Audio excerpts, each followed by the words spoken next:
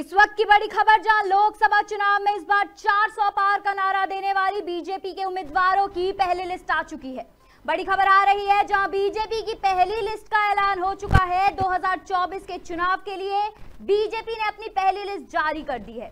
बड़ी खबर आ रही है जहाँ एनडीए, आपको बता दें, बड़ी खबर आ रही है जहाँ बीजेपी ने एक सौ पंचानवे सीट पर निर्णय ले लिया है। जहाँ वाराणसी से चुनाव लड़ेंगे प्रधानमंत्री मोदी आपको दे दे प्रधानमंत्री मोदी वाराणसी से चुनाव लड़ने जा रहे हैं। बीजेपी ने जारी की लोकसभा प्रत्याशियों की पहली सूची। पहली सूची में 28 महिला प्रत्याशी शामिल है। चौतीस केंद्रीय मंत्रियों को फिर मिला, यानी दोबारा चौतीस केंद्रीय मंत्रियों को टिकट मिला है। एक सौ पंचानवे उम्मीदवारों की घोषणा बीजेपी ने कर दी है प्रेस कॉन्फ्रेंस के दौरान।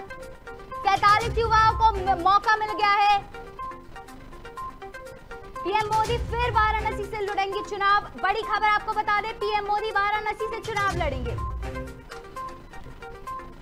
इस वक्त की बड़ी खबर, जहाँ लोकसभा चुनाव में इस बार 400 पार का नारा देने वाली बीजेपी के उम्मीदवारों की पहली लिस्ट आ चुकी है।